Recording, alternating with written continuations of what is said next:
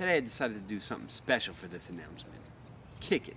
It's Sunday, Sunday. Gotta pick a winner on Sunday. Everybody's looking forward to the raffle, raffle. Sunday, Sunday. Gotta pick a winner on Sunday. Everybody's looking forward to the raffle, raffle. My freebies, my freebies. Yeah! My freebies, my freebies. Yeah! Fun, fun, fun, fun. Looking forward to the raffle. Yeah, that just happened. And you're welcome. Now that I graced you with my musical talents, why don't we get to the raffle, huh? iPod Touch giveaway. Let's do this. Zebra box.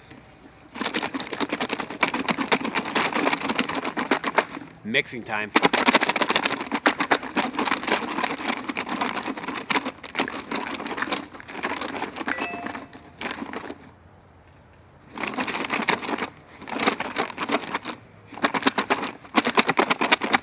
Okay, winter time. Ready? Not looking, see, look, not looking, not looking, not looking. Dig deep to the bottom. Hopefully I don't get bit. So many tickets in here, I don't even know what else is in here. Could be a lot of stuff. Could be animals in there, I wouldn't even know. And we have a winner. Okay. We have a winner. And the winner is Kathy P Soul 9. You just won an iPod Touch. 8 gigabyte.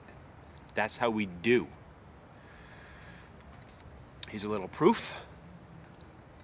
Kathy P Soul. Give it time to. There it is. Kathy P Soul 9.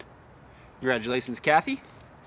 Uh, just contact us. You have till uh, Wednesday night.